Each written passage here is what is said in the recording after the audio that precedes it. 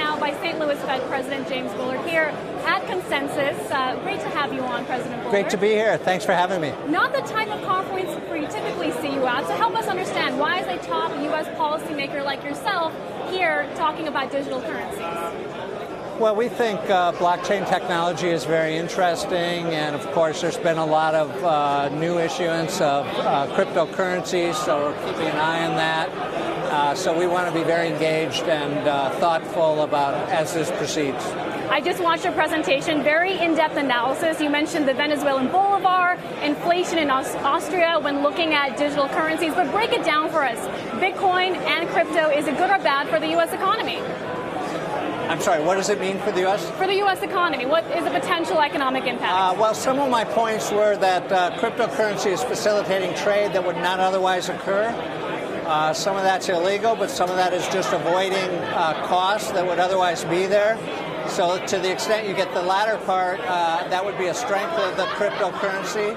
Uh, another part of my talk was talking about how when you have a lot of currency, different currencies trading around, the exchange rate problem is a big deal because you don't know how they're going to trade against each other. And that happens even with big time currencies like the yen and the dollar. Is Bitcoin a threat to the US dollar? Uh, I don't think so at this point. Uh, I think the but dollar. The, well, we don't know how the future is going to unfold, but um, my idea is that there's a lot of currency competition going on right now. The dollar has been the winner uh, historically because it's backed by the largest economy and a relatively stable policy in terms of low inflation. And that's going to be tough to beat, uh, but a lot of people here want to beat it. Some are speculating that with your presence here, President Bullard, it's a sign that the Fed may be trying to one day embrace their own digital currency, a Fed coin, if you will. True or false? Uh, well, we can certainly look at that as a possibility, and uh, there are different parts of the Fed that look at all kinds of applications of blockchain technology, but uh, I wouldn't say there's any plan at this point or anything imminent. My own personal opinion is I don't, at this point, I don't see what the gains would be to the Fed from that, but I'd certainly keep an open mind. The when we look at the global landscape, uh, there's been a lot of talk about rising U.S. dollar, rising rates, and the impact it could have on emerging market nations. Uh, recently, we've seen a lot of outflows out of emerging market debt.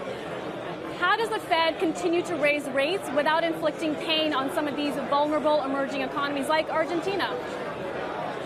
Uh, well, the idea has been that the U.S. Uh, runs monetary policy for the U.S., and the other countries have to run their own monetary policies and manage their exchange rates to the extent they can and to the extent they want to.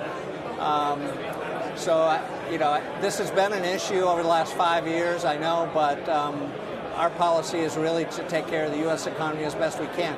We understand that uh, uh, capital flows come in and out, and that this does feed back to the U.S. economy. We take that into account when we're making U.S. monetary policy. Let's talk about oil prices, which have been on the rise ever since President Trump announced that the United States will be pulling out of the Iranian nuclear accord. Higher oil prices tends to lead to higher inflation. Are you concerned?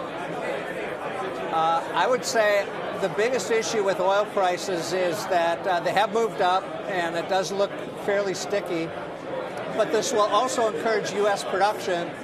And compared to years past, uh, oil prices have a more neutral effect on the U.S. economy. It used to be a big oil shock was probably bad news for the U.S. economy, but now I think it's neutral. It hurts our uh, consumer side, but it helps us on the production side, and it more or less washes out at this point. So I think it's not what it used to be uh, to track oil prices for the U.S. economy. But you tend to be a bit more dovish, but if we do see a significant rise in inflation, will that push the Fed to raise rates maybe two or even three times this I year? I think the key issue there is the word significant. Are we going to see inflation that's more or less where it is today? The Dallas Fed trim mean year over year inflation rate is 1.8%. That doesn't sound very high to me. It hasn't changed much in the last year. Um, it's possible that will tick up a little bit, but that would just get it closer to our target. All right, so we do, will we see a rate hike in June? Sorry? Will we see a rate hike in June? Um, I, well, we'll have to wait for the meeting and see what happens. All right, we'll leave it there. President Bullard, thank you for your time. Great to get All your right, thoughts thanks on for having crypto me. I really appreciate it. And the U.S. economy. Guys, sending it back to you. Hey there, thanks for checking out CNBC on YouTube. Be sure to subscribe to stay up to date on all of the day's biggest stories. You can also click on any of the videos around me to watch the latest from CNBC. Thanks for watching.